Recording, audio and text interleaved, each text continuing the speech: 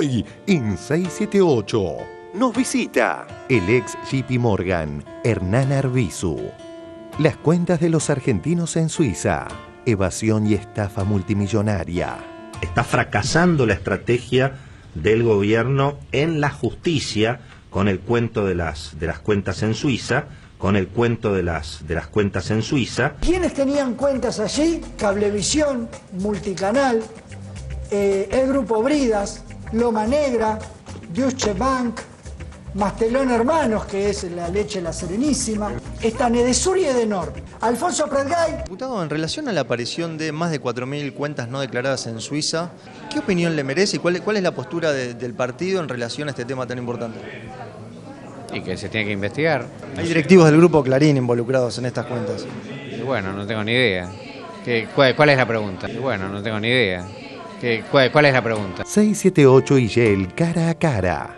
Lucas Martínez y Juan José Aranguren desafían la grieta. Como representante de una empresa tan importante como la, como la Shell, una multinacional, ¿entiende que decisiones suyas pueden afectar directamente a la política económica de un país? No estoy convencido, si quiero entender muy bien la pregunta, que la decisión puntual de una empresa puede estar afectando a la política económica del país, porque la política O económica... la es situación económica compleja. financiera en un momento determinado. Eh, no, honestamente no creo porque la política y la situación financiera es mucho más compleja que la realidad de una compañía. Es decir, un país es más grande que el hecho concreto o puntual de una única compañía. Por ejemplo, lo que ocurrió a principio de año, que la Shell haya comprado dólares a un precio por encima del valor de mercado. Eso generó una corrida cambiaria. ¿Eso no Es un entiende que ahí Yo sucedió? creo que eso es un error de apreciación. Que terminaron pagando un dólar, un peso y pico más caro de la cotización Bueno, oficial. Estamos pagando, no, pero eh, de vuelta, la cotización de cierre, que no es la oficial. El mercado, en las cinco horas que tiene de cotización, sube y baja. Al cierre, cuando intervino el Banco Central, el tipo de cambio terminó en 8 pesos y nosotros habíamos comprado ese millón de dólares a 8,70. Entonces, mal podemos querer que por simplemente en un millón de dólares hacer algún mal para alguien estemos castigándonos en 180 millones de dólares todos los meses. Es un absurdo pensar eso. Quizás el beneficio es superior a esta pérdida. Bueno, eso lo pueden pensar ustedes. El circo de Carrió sigue su periplo. Nos están robando la nación para imponernos, para imponernos solo la barbarie. Porque saben qué pasa, yo dije 0,5 de lo que sé. Uh. ¿Sabés que suspendeme el segundo plato, Mirta? Porque tengo una angustia. Tengo una angustia que no quiero ni el postre. ¿Saben que un tercio de los padres en las villas están muertos? Jóvenes. Otro tercio está preso. Otro tercio está preso. Y otro tercio está desocupado. Y la acusan de muchas, no la acusan, le, le- le hacen cargos a usted, que bueno, que es muy fantasiosa, que no nunca se prueba nada de lo que dice. Mire. Discúlpeme, hasta loca dice. No. A ver, a ¿Quién ver. dijo eso, Mirta? Miren, ¿Usted no se arrepiente de haber dicho que Jessica Sirio es gato? yo no lo dije en público. Es fuerte eso. Todos saben demasiado. Y no lo dije en público. Es lo más que puedo decir. Y no me digan más, porque es terrible lo que sé. Me aterra con todo eso. Son todos gatos. Vos y No, usted también. no, ya. No, Mirta, más, bailando, no confundan, güey. Macri y su amor por la política. presidente de la nación o nueve de boca. Y tenés que elegir una de las dos. Nueve de boca. Me mata, Pero, pero obvio, nueve de boca. me mata. Pero, pero obvio. Tras su violento editorial, se espera la rectificación de Alfredo. El juez federal Claudio Bonadío podría protagonizar tranquilamente aquella película titulada Retroceder nunca, rendirse jamás. No es alguien que arrugue ante los primeros balazos. De hecho, es cierto eso de que mató con su pistola Glock a dos personas que lo atacaron. Es cierto que fue en defensa propia, pero hay que meterle dos tiros a alguien, ¿eh? Hay que tener una personalidad especial, hay que tener el corazón muy duro y la cabeza muy fría. Hoy demostró que se planta en el centro del ring y que es muy difícil ponerlo contra las cuerdas. Que puede morir, tal vez, pero peleando. Bonadío no tira la toalla. Aguanta a pie firme los guantazos, esquiva algunos ganchos de derecha y saca sus manos con una velocidad infrecuente. Si fuera boxeo, hoy está ganando el juego Bonadío por puntos. Bonadío demostró que con él tampoco se jode. Pero hay que meterle dos tiros a alguien, ¿eh?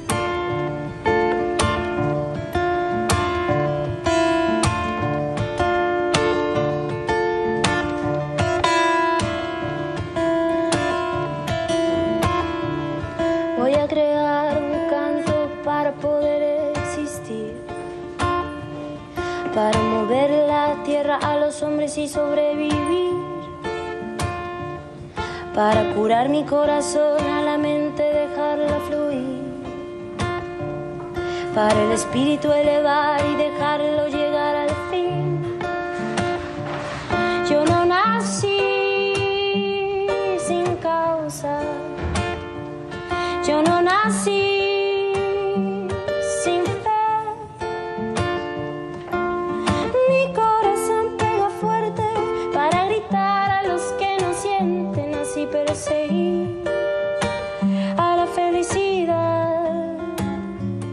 Otro día de notis que invitan a soñar. Uno. Más consecuencias del default. En el diario El País de España. El país que frenó el SIDA con la palabra gratis. Argentina salvó al menos 4.300 vidas en la última década gracias al acceso universal al tratamiento.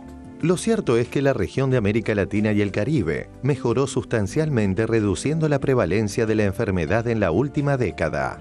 Un reflejo de esto es el caso de Argentina. Dos. La crisis ya no se aguanta. Es una buena noticia. A partir del primero de enero del próximo año se va a incorporar al calendario nacional de vacunación contra el rotavirus. Lo anunció el jefe de gabinete y el ministro de Salud. Será, como dijimos, a partir del primero de enero. 3. Emocionanos. TBR. dedicar este tema que ya canté para los compañeros desaparecidos, para los que se tuvieron que ir, por eso voy a cantar un tema que cantaba Gardel cuando no podía volver porque no tenía guita. Anclado en París, tirado por la vida, errante bohemio, estoy en Buenos Aires, anclado en París. ¿Cómo es esto de la ciudadana destacada de la cultura? Ah, muy bien. Me nombran ciudadana destacada de la cultura y bueno, nada. ¿Qué sé yo? No sé qué hay que hacer en esos casos. Lo único que sé es que me dijeron quién puede, me dijeron alguien tiene que hablar y decir unas palabras para vos y yo dije Estela de Carlotto, que es como mi mamá. Una voz excepcional, una personalidad increíble, una excelente persona. Se parece a Laura, a mi hija, la que no está. Tiene sus ojos, su cabello, su figura menuda. Eh, y ella se me compara mucho con Laura, dice que me parezco mucho a Laura. Lo dice siempre, es muy fuerte para mí. Hay un ida y vuelta entre las dos muy conmovedor. Tiene la voz al servicio de los demás. Las luces rojizas con tonos morientes eh, parecen pupilas de extraño. ¿Cómo vivís hoy tener un presidente que reivindica a aquellos olvidados, desaparecidos? Yo creo que esta historia que teóricamente sentimos que habíamos perdido, eh, yo tengo la sensación de que estamos viviendo un momento muy especial, eh, no en la Argentina solamente, sino en Latinoamérica. ¿no? Soy una persona optimista, pero además este, creo en este presidente como una posibilidad bastante profunda. Felicitaciones, Adriana Varela, hermosísima. Qué recorrido. Gracias. Muchas gracias. La verdad que soy re dura yo, viste, para no de domar, sino de de llorar. Pero me sorprendieron muchas cosas, realmente que hayan encontrado un trabajo muy muy amoroso el que hicieron. Muchísimas gracias, de verdad, con toda mi alma. A usted. Gracias a vos, Adriana. Estela, Estela, Estela de Carlotto. 4. No nos gusta mezclar hockey y política, pero la argentinidad hoy estuvo al palo. Vamos por el empate, Leonas ante Inglaterra. Con Carla Rebecki. ¡Golazo! Al servicio Agustina Biff. En la base de corto, Carla Rebecki ahora intenta una jugada preparada. Piti Delía. Un debido gol.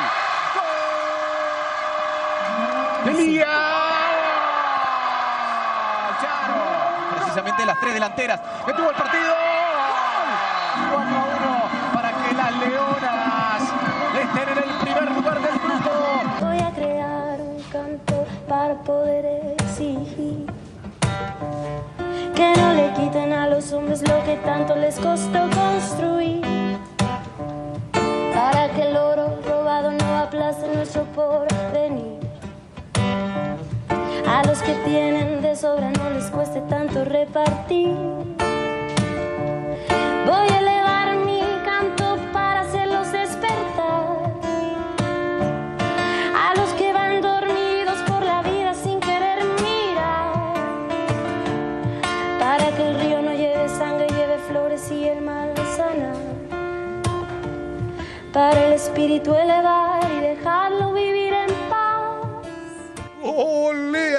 ¡Oleas! Ahí 7-8. Para la denominada Corpo, un veneno.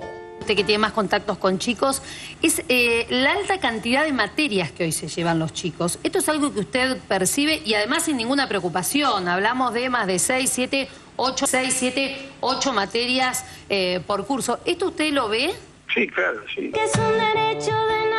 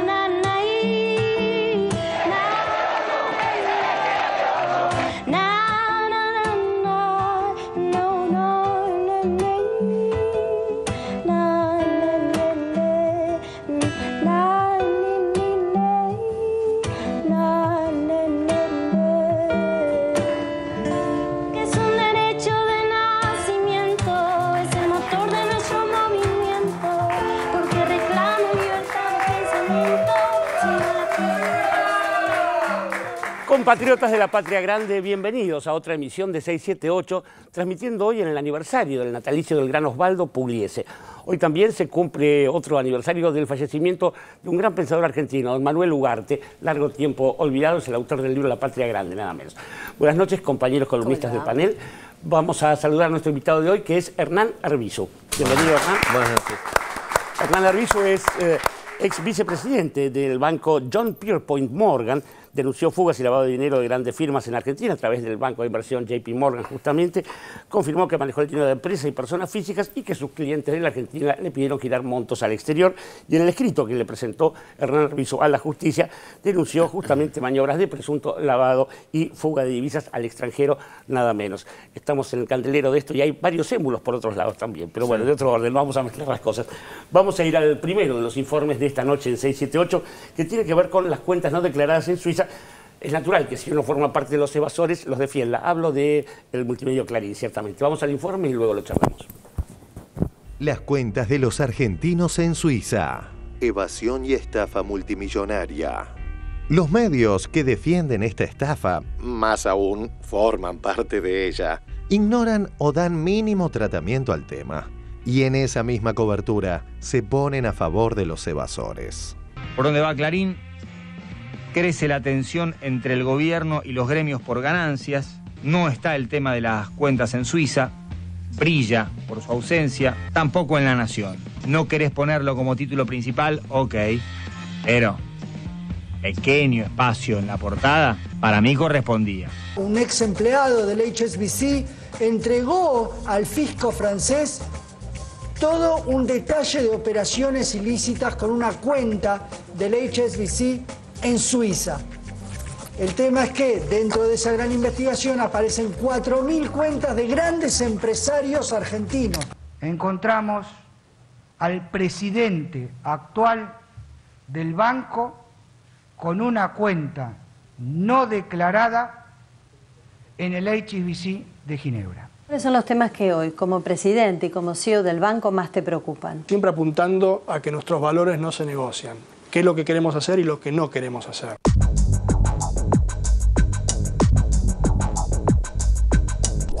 ¿Quiénes tenían cuentas allí? Cablevisión, Multicanal, eh, el grupo Bridas, Loma Negra, Deutsche Bank, Mastelón Hermanos, que es la leche La Serenísima, están Edesur y Edenor. Alfonso Pratgay, Quiero de- derogar la corrupción, quiero derogar el choreo, el afano, quiero de- derogar la corrupción, quiero derogar el choreo, el afano.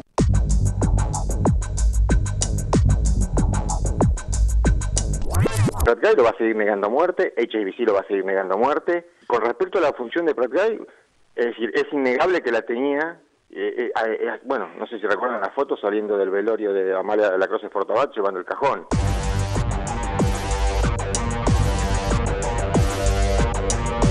Tal es así que administraba la plata que eh, mi ex jefe, Luke Palacio, se reunió con Alfonso Pratgay para que llevara a Malita, que es el quien decidía él, el Pratgay decidía como administrador de la fortuna, que llevara a sacar a la plata de VS y HSBC, que es donde estaba, y lo llevara a JP Morgan. Interesante el caso argentino, estamos hablando de un 10% de la reserva. ¿En dónde? No en el Banco General, por argentinos, en Argentina, sacada afuera. Esa plata tendría que estar en el Banco Central, entonces estamos hablando de que hay mecanismos por los cuales los sectores concentrados y la- los más poderosos del país han estado durante años llevándose plata afuera. Saturnino Herrera Midhan, del Grupo Clarín. Estamos inmersos en una crisis dentro de la crisis, fruto de la especulación financiera sin límites, de la ausencia de controles efectivos, pues el doble discurso y la doble moral, que son los componentes esenciales y determinantes de la crisis actual, revisar el pacto fiscal, bajar la evasión, revisar el pacto fiscal, bajar la evasión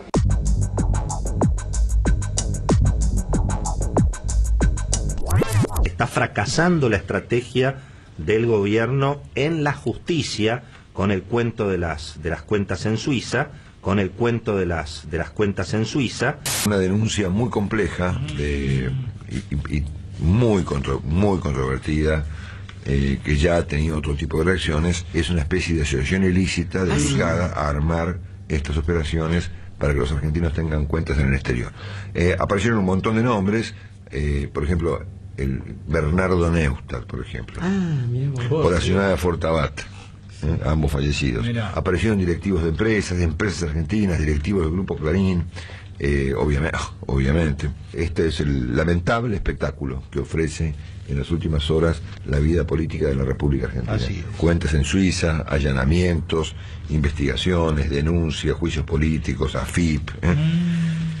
Es un, un- un enchastre repugnante de, de- de operaciones, este, carpetazos, denuncias este, y cuestiones que tienen en algún caso probablemente ningún fundamento. Y cuestiones que tienen en algún caso probablemente ningún fundamento. La identificación de 4.044 cuentas en el exterior, eh, la gran mayoría no declaradas, eh, ha implicado una evasión que se estima en cerca de 62 mil millones de pesos. Esto equivale a 2,5 veces eh, la asignación universal por hijo.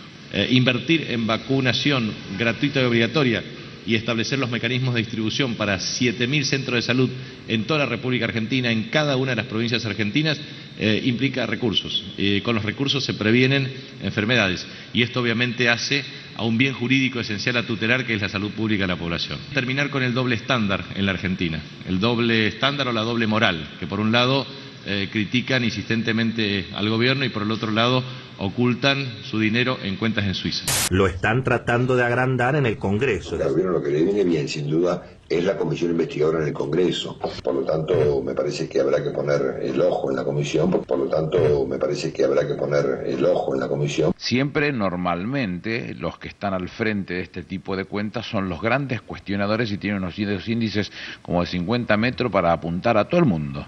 Pero nunca se hacen cargo de situaciones de esta característica. Bueno, nosotros queremos armar la comisión y que por esa comisión pasen todos dando las explicaciones pertinentes a ver lo sucedido. Diputado, en relación a la aparición de más de 4.000 cuentas no declaradas en Suiza, ¿qué opinión le merece y cuál, cuál es la postura de- del partido en relación a este tema tan importante?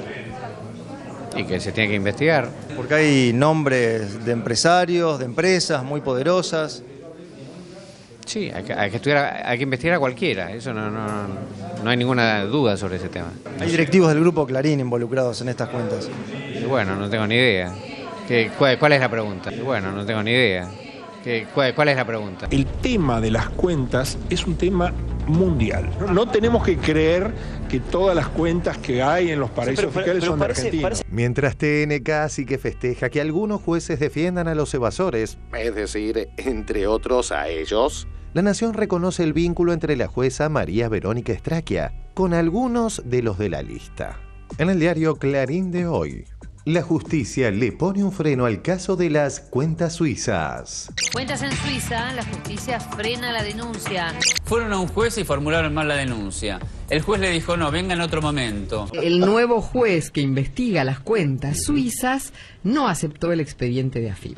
Insólito. Los jueces en lo penal económico no aceptan la investigación por las cuentas de en Suiza. Eh, es muy curioso, insisto, un juez que tiene que investigar y dice, no, mejor no investigo. Un hecho inédito. Cuando la FIP presentó la denuncia, la jueza se excusó. Al juez Estrachia, eh, que se excusó, y el juez que fue sorteado, López Vizcayart, tampoco recibió el material. Fueron con una camioneta con Toeche Garay, con toda la denuncia, que pesa 3.500 kilos de papel, o sea, 3 toneladas y media de papel, con toda la denuncia sobre la evasión este, de ricos y famosos, y la justicia no lo toma. Es una señal, ¿no? En el diario La Nación de hoy, la justicia le frena a la FIP la denuncia por las cuentas en Suiza. En el organismo, deslizaron por lo bajo que la jueza tendría relación con algunas de las 4.000 personas y empresas acusadas de ocultar ante el fisco la declaración de sus cuentas bancarias en Suiza para evadir impuestos. Los opositores Clarín e Infobae, al ufanarse de una prescripción, no hacen más que reconocer la existencia del delito. Si algo prescribe, es porque existe, ¿no? En clarín.com, cuentas en Suiza. Ahora el gobierno dice que los delitos prescribieron. En infobae.com de hoy por la tarde. El gobierno reconoció que prescribió el delito de evasión de quienes tenían cuentas en Suiza. Al parecer no puede prosperar esta denuncia. ¿Prescribió?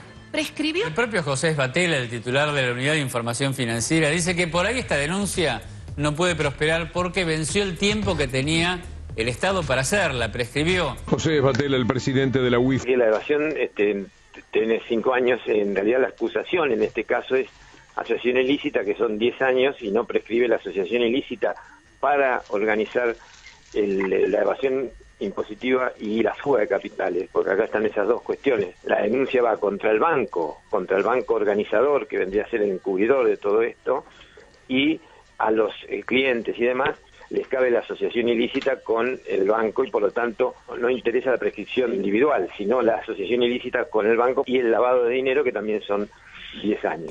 El tema es central para el bienestar y el poder adquisitivo de todos los argentinos, y los medios hegemónicos lo ocultan o, como vimos en este informe, toman partido en favor de los evasores. El último domingo 678 destinó la parte central del programa a tratar esta cuestión, y la reconocida tuitera Flore Chévez, a quien sabemos preocupada por el bolsillo de los argentinos, en lugar de sumarse a la denuncia o al menos adoptar una postura neutra debido a que trabaja en el grupo Clarín, esto le pedía a sus seguidores. Tweet de Florencia Echeves. Quejarse de 678 es muy 2012. Ya fue. El control remoto es más sano que la quinoa.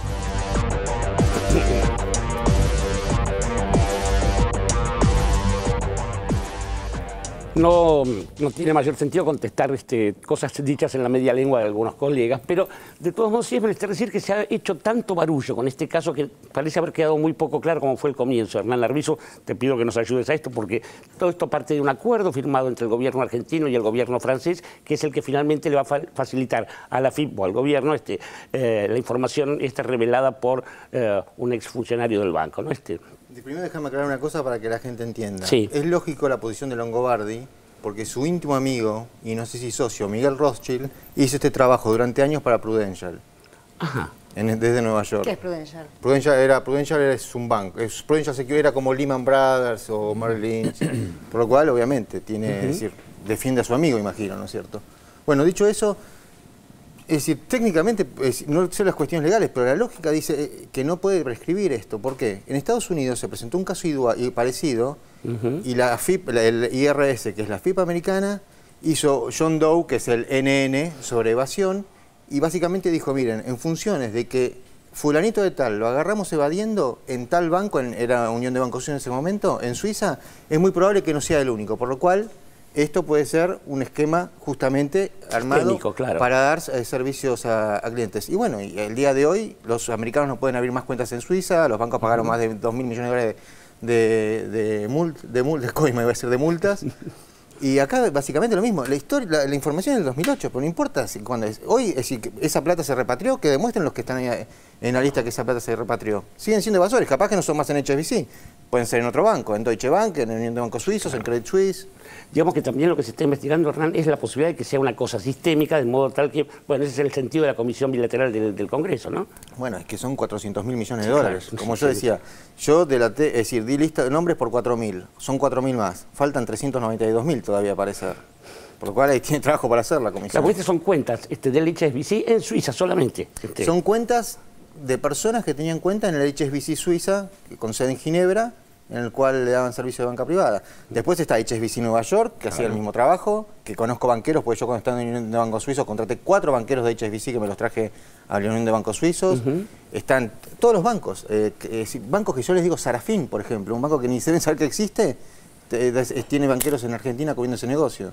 Recuerdo que Hernán Ruizo había pronosticado que llegado el caso, este, Pratgay iba a desmentir estas cosas. Bueno, se le complica un poco. Mariana Moyano, querías hacer una pregunta, Hernán. Sí, quería eh, em, brevemente, por supuesto, ¿cuál, para que entendamos los que no conocemos, ¿cuál es como la operatoria del, del banco exactamente? ¿Qué es lo que, dónde está la, la- la ilegalidad que se denuncia? Y lo otro que te quería preguntar es de todo esto que se dijo, los nombres, la denuncia y demás, ¿qué es lo que según tu perspectiva privilegiada es lo verdaderamente relevante de lo que se está discutiendo ahora? Mira, eh, lo relevante es los nombres. Perfectamente puede salir Mastelone diciendo que tiene esa cuenta en particular declarada. Pero nosotros, como explicaba hoy, no manejábamos cuentas, manejábamos relaciones. ¿Qué quiere decir relación? Grupo Clarín era una relación. Grupo Clarín y mi listado tiene más de 60 cuentas.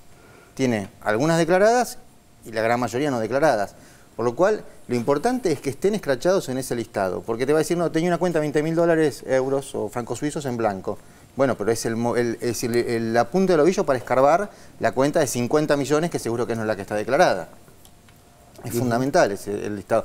Y además, ¿Y cómo se llega de, ese- de esos 2.000, de- no, digamos, declarados a, lo- a los 50 no declarados? ¿Cuál es el proceso y que bueno, un es Estado puede tener? Es la justicia, ¿viste? La justicia tiene Ah. que actuar. Si la justicia no actúa, desgraciadamente parecía que tenía la bola de cristal, pero lo dije el lunes. Dije, si la justicia no actúa, no hay forma de avanzar en este tema. Le- hoy, eh, llegará y le pueden caer 50 listados más. Llegar a los 400 mil millones de dólares que hablamos que hay de evasión. Si la justicia no actúa, no va a pasar absolutamente nada. Además, la justicia con el rigor del peso de la justicia. Que el que es evasor sepa que le caen las leyes de la ley por ser evasor. ¿Qué es lo que pasó en Estados Unidos con el caso que les digo? El, que, el tipo en Estados Unidos lo llamaron y dijeron, vení, vos estás en un listado. No, pero lo tengo en blanco. ¿Seguro? Pues mirá que si te agarro otra cuenta, es decir, no te voy a venir a llamar esta vez. Y bueno, me pareció, terminó apareciendo tanta plata que al banquero que lo delató le pagaron 100 millones de dólares de, de retribución. Hernán, yo estuve leyendo unos datos eh, respecto del- de la evasión mundial, del Banco Mundial. Te los refresco y a lo mejor haces una rectificación. Se dice que la evasión mundial asciende casi al 20% de la masa. De la generación de riqueza en el mundo. Exactamente. Debe ser ese Se el calcula número. 18, 20%. Eh, Vos hablando, hacer una aclaración. A los datos que yo tenía del 2001-2002, en Argentina era el 70%. De cada ¿Cuánto? 100, 70%. De cada 100 pesos generados de riqueza, 70 terminaban en el extranjero.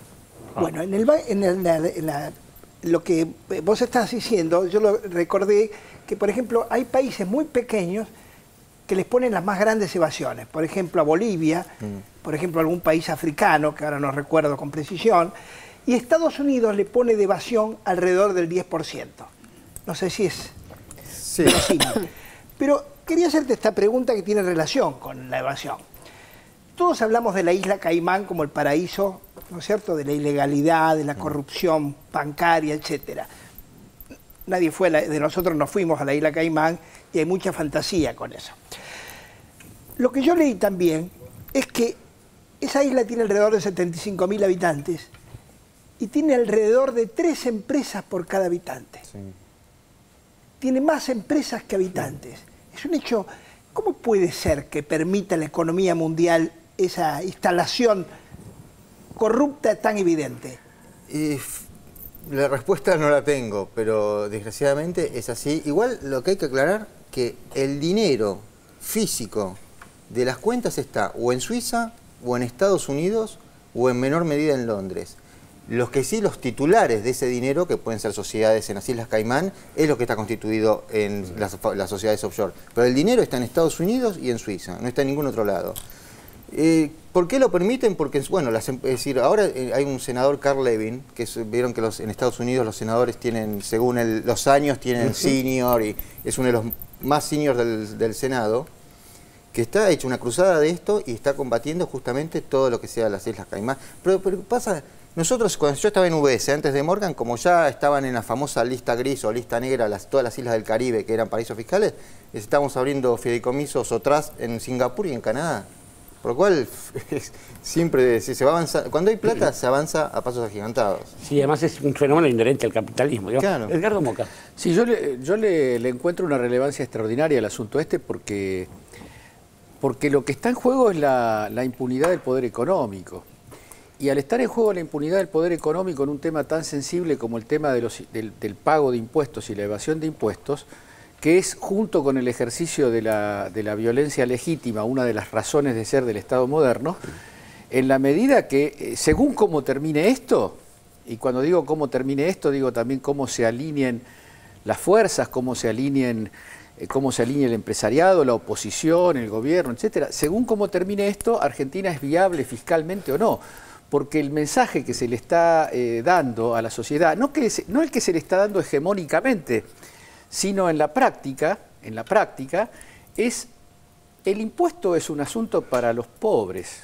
El impuesto es un asunto para los laburantes, para los pequeños y medianos empresarios. Si vos tenés plata, contactos, lobbies, con el- la red financiera del poder, vos, a vos nadie te puede hacer nada y el impuesto es para los otros. Entonces, a mí me parece que, como en muchas otras como muchos otros casos en los últimos 12 años de la historia argentina, se está jugando no lo que pueda pasar ahora, se está jugando la viabilidad del Estado. Si el Estado argentino acepta que esto es, es lícito, y, y la verdad es que quisiera también hacer una pregunta a Hernán. El- el- lo que vos decís, si es un solo banco y es un solo destino, quiere decir que esto, si se pone la lupa en una buena cantidad, para no decir todas, las entidades financieras y bancarias, van a aparecer datos iguales, parecidos o del mismo... Van a aparecer un no sé qué porcentaje, pero determinado porcentaje de la población argentina que son los que justamente tienen las cuentas en extranjero, que suman los 400 mil millones, porque son, como he dicho, son siempre los mismos. Yo vi el listado de HSBC y los, todos los nombres me sonaban. O eran clientes o eran justamente... Porque, el- es decir, lo más difícil, si me decían, ¿cuál era lo más difícil de tu negocio? No era convencer a un argentino que llevara la plata afuera, porque eso ya era, por definición, ya eh, era la competencia que teníamos entre los bancos por, por, por el cliente. Claro, ¿Qué condiciones se le era daban? Llevar esas cuentas de otros bancos al, al Nos peleábamos, nos peleábamos por los clientes. Ahora, las personas son las mismas, los bancos son, Son- son muchos, pero las personas son las claro. mismas. Ajá. Son los mismos. El, eh, y la asignación, eh, yo no me- tampoco no me canso de decirlo, la asignación de recursos que tenían las unidades de banca privada de todos los bancos para lo que es Argentina era desmesurada. ¿Pero por qué? Porque obviamente hay 400 mil millones de dólares en extranjero. El otro día estaba leyendo un dato en Bloomberg, en la agencia de noticias, que la evasión, es decir, el monto de activos de, de que tienen chinos fuera de China no declarados ante el fisco chino son 700 mil millones. Argentina estamos Uy, más de la mitad. casi parejo con Argentina China. más de la mitad. Bueno, claro. Algunos van a creer que es una cifra que Lo que es grave con respecto a lo que decías es que esto evidentemente es una cuestión de Estado. Y no puede pasar desapercibido que la jueza se tenga que excusar en una cuestión de Estado. Es gravísimo. Es y que aclare cuanto antes porque cuanto menos aclara, eh, peor es su situación. Bueno, precisamente, perdóname, precisamente eh, no quería dejar pasar eso porque no hay ninguna viabilidad de que esto prospere si tenemos el Poder Judicial que tenemos y si tenemos los jueces, que no sé si son jueces en lo penal tributario o en lo penal económico, pero cayó en- eh, primero con la jueza Estraquia que alega este, incompetencia por motivos personales, Sí, tiene que sí, sí. aclarar esos motivos personales. Lo primero que me viene a la cabeza es que tiene una cuenta en extranjero a mí. Bueno, o, cual o está alguien muy allegado, delito, pero sí. en ese Amigo. caso este, tiene la obligación de denunciarlo, Claro. no excusarse por motivos personales. Y ahora la tiene este, López Vizcayar, que ya había habido problemas, porque en febrero la FIP denunció a la HSBC por una operatoria de facturas truchas y también este mismo juez que ahora rechaza la documentación y que dilata la causa, eh, también se declaró incompetente y entre Straquia y López Vizcayart dejaron ese tema de- del HSBC en el aire.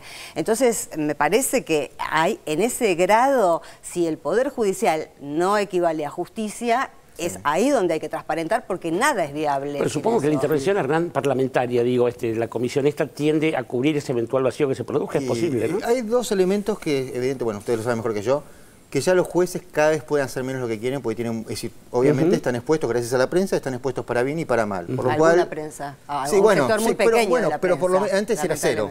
Claro, Por lo exacto, menos, exacto. eh, ahora Antes algo, algo ahí ya es- no es tan fácil. Eh, y sí, obviamente, la, la- va a tener la presión por un lado de la opinión pública de la gente y otro de la, de, de la Cámara de Diputados y Senadores, que es una presión importante. Algo que me dejas... eh, Sí, cómo no. Que estaba viendo a Willy Cohen, a, a- y todos, bueno, muchos en el informe, que le quieren quitar credibilidad y veracidad al Ujú. informe. El cuento de las cuentas, decía con... Este, ¿Pero qué pretenden? ¿Que Stuart Gulliver, que es el director ejecutivo de HSBC en Londres, mande una carta con membrete de HSBC diciendo, sí señores, estos son clientes evasores y nosotros somos los, los estructuradores para que esta gente... No sé qué pretenden, es, es ilógico, nunca se va a conseguir un listado así del director ejecutivo de un banco o de una persona que esté de- siga dentro del sistema, porque es, es ridículo. Sí, pero también se trató de este, eh, echar tierra sobre la persona que, este, este, que Sí. reveló esta información, digo, es- escapándose del meollo de la cuestión.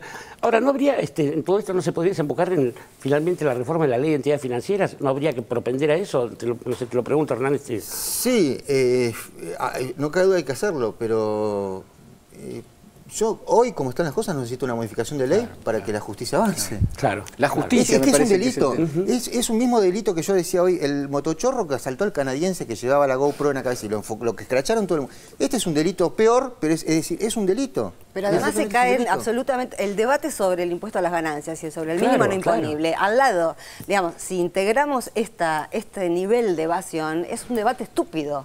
sí, pero y además, digo, básicamente no tiene que ver con la decisión de este gobierno, de cualquier, es una cuestión de Estado. Bueno, eh, justamente. Sí, hay una palabra, perdón, la palabra evasor, eh, Sí. que me interesa, que seguramente vos sabés desde ya más que nosotros.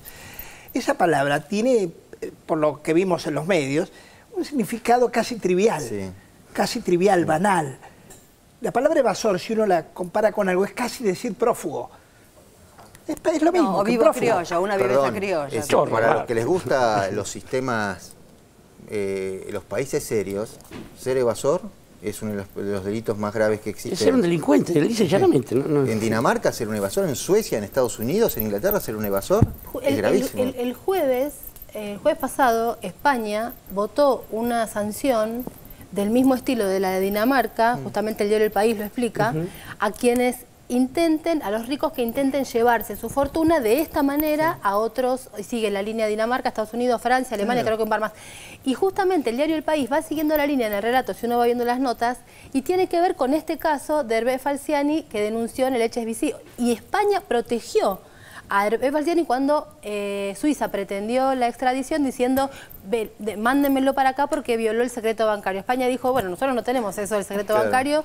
Hicieron una ley justamente por esto, para Claro. e- e- evitar, con lo cual no es un, un problema de, de, de Echegaray de hoy, es un, un problema de los Y estados. además, el- el- en el caso de Argentina, el que asume las próximas elecciones va a tener ese problema, que si tiene que recaudar, y tiene, es, decir, es un problema de todos, no es solamente de este gobierno, por lo cual que se limiten a enfocarse a, a utilizarlo como un arma de este gobierno para perseguir, y ojalá persiga a los evasores, que los persiga con toda la ley. Lo que pasa, Hernán, es que, es que hay un, un- un complejo político, Sí. político, financiero eh, eh, en la Argentina, que está dispuesto a hacer lo que esta gente diga que hay que hacer para asegurar lo que desde el año 80 se llama gobernabilidad. Bueno, la sí. gobernabilidad significa que con esto no hay que meterse, esa es la idea de En la otro momento hubiera volado un gobierno. Por Exactamente. Por los allanamientos a las casas de cambio hace 20 días Claro, claro. hubiera volado un gobierno. Exactamente. Ahora, hay- crea la idea, perdón, siguiendo tu pensamiento y tratando de ir a...